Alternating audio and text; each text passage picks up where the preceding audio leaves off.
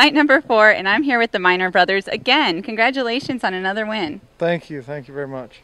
Tell me a little bit about your run tonight.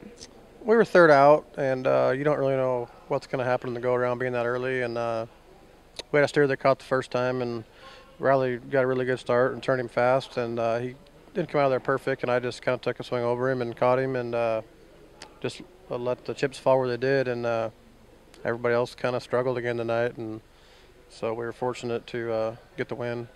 It was a great win. It was a fast. It was a really fast run. Now, with winning comes the South Point and the buckle ceremony, which tends to run pretty late. Uh, you know, you always want to win, but how does that affect your your day the next day?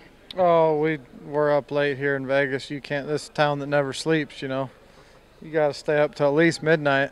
Get a couple naps in before your run. Oh yeah, or I sleep in pretty pretty good. Oh, okay, that's a good thing. How about you?